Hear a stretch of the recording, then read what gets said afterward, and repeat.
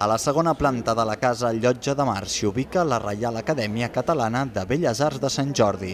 Es va fundar l'any 1775 sota el nom d'Escola Gratuïta de Disseny, amb l'objectiu d'oferir una formació reglada en pintura i escultura pels joves barcelonins. Jo d'imaginar que tot aquest espai que tenim aquí eren aules, com podien ser avui a la universitat, no? aules d'alumnes que venien aquí a estudiar. Aquests alumnes que per nosaltres avui en dia són artistes, no? O sigui, Picasso, Claudio Lorenzale, Antoni Cava... A part de les tasques docents que s'hi feien, l'escola també va obrir al públic la seva col·lecció artística a principis del segle XIX, esdevenint així el que es considera com el primer museu d'art de Catalunya.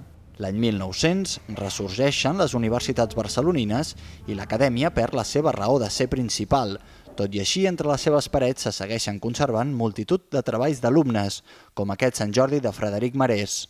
Aquí teniu totes aquestes obres de Salvador Mulet. Salvador Mulet va ser el professor de flors i ornaments d'aquesta casa. Maria Fortuny va ser alumna. I tots aquests dibuixos són els que ell va fer quan estava becat a Roma. Veieu que són dibuixos de, del cos humà. No? La Reial Acadèmia és encara un espai desconegut per a molts, tot i la valuosa col·lecció d'art que hi amaga. Francament, a mi el que més curiositat era saber que aquí han passat grans artistes com el Picasso i pensar que aquí han estat estudiant això. Em sembla que anem una mica sempre als mateixos llocs i hi ha llocs molt macos a Barcelona que s'han de descobrir. Vaig estudiar a Llotja als anys 60 i pico. Per mi era tornar en un lloc i venia cada dia de 7 a 9 a estudiar.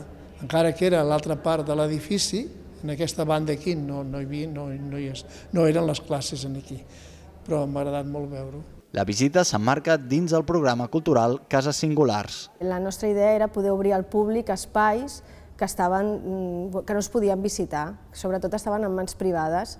Llavors, creiem que les acadèmies aquesta de Belles Arts, com les altres dues que tenim, Ciències i Arts i Medicina, són espais que porten aquí mm, molts anys i, i la gent no les coneix. Llavors nosaltres el que intentem és fer-la arribar a la societat. L'espai també es pot visitar individualment tots els dies laborables.